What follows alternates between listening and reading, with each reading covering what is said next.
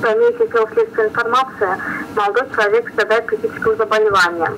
В этой связи следовательно в целях установления его меняемости назначено проведение психолого-психиатрической экспертизы. В настоящее время подозреваемый задержан, рассматривается вопрос о его аресте.